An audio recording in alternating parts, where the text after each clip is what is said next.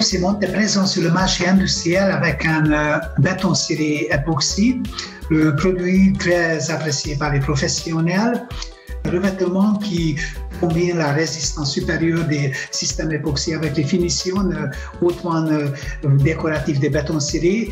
Vraiment une, combinaison, euh, réussie, disponible en 4 euh, granulométries et 16 couleurs.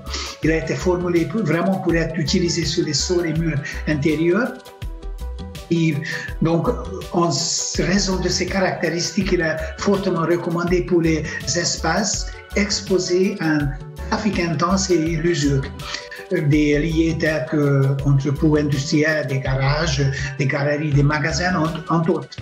De plus, il possède une résistance remarquable aux agents chimiques tels que l'ammoniac, l'huile, les boissons gazeuses ou le café.